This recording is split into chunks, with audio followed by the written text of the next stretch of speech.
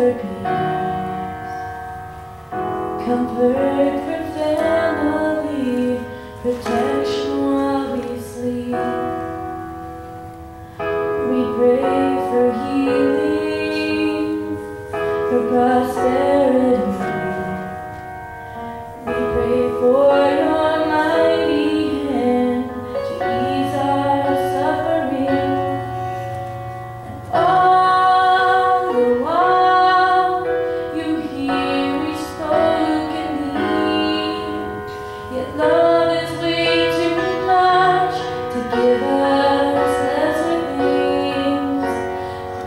Savior.